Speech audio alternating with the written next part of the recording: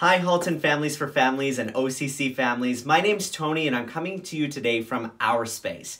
Our space is a safe space. It's a space for us to talk about anything, for us to be ourselves, and a space for us to talk about what mental health looks like, sounds like, and feels like in some cases. Me and my friends, we tour schools, we tour outdoor venues, and most recently, straight to your iPhone with our online shows. And today I want to tell you about an upcoming show that we have on August 19th.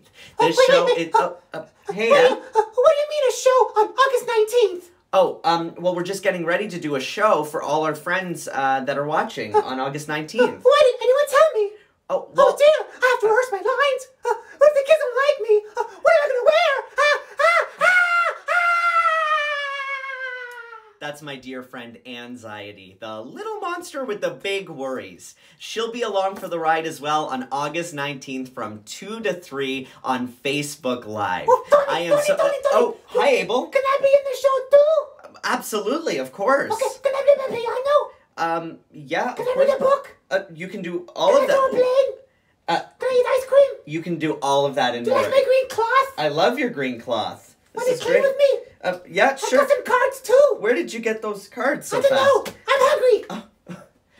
Um, so join us live on Facebook August 19th from 2 to 3 p.m. and stay tuned to this page for more updates on the specific times and how you can watch this show. Bye for now. Ah!